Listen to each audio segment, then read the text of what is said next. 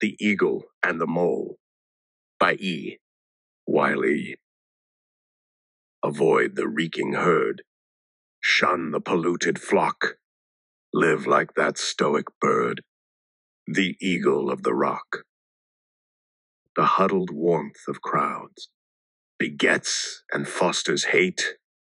He keeps above the clouds, his cliff inviolate. When flocks folded warm and herds to shelter run, he sails above the storm. He stares into the sun. If in the eagle's track your sinews cannot leap, avoid the lathered pack. Turn from the steaming sheep. If you would keep your soul from spotted sight or sound, live like the velvet mole. Go burrow underground